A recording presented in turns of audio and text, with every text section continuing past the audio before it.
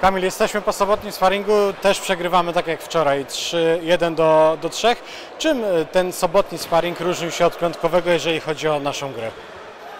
Mm, Czym się różni? Wydaje mi się, że weszliśmy dzisiaj w ten mecz y, z taką mniejszą napinką, może, może bardziej e, wiedzieliśmy już dzisiaj z czym to się je, jak trzeba grać, jak hala wygląda e, i co przeciwnik prezentuje, także myślę, że dzisiaj było troszeczkę, troszeczkę luźniej na boisku, zdecydowanie. A czy było lepiej? Jeżeli luźniej, to czy było lepiej względem wczoraj?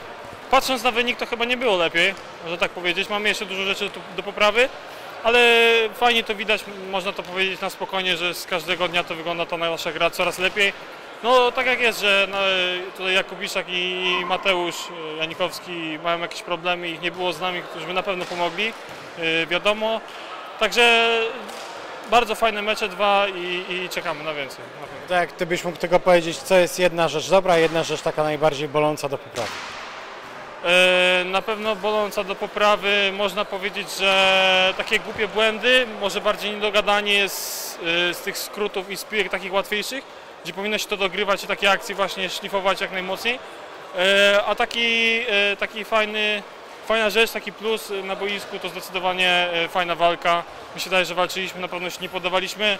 E, Jak traciliśmy troszeczkę więcej punktów i, i staraliśmy się wygrać każdy punkt i pokazać się jak najlepiej.